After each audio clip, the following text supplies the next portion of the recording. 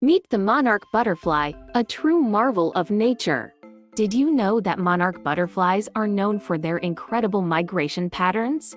Every year, these enchanting creatures embark on a journey spanning thousands of miles.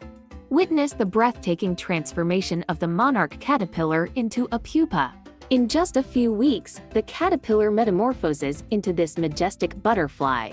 As adults, they become pollinators, playing a crucial role in maintaining biodiversity. Monarch butterflies help to pollinate many types of wildflowers, which is essential for the health of our ecosystem.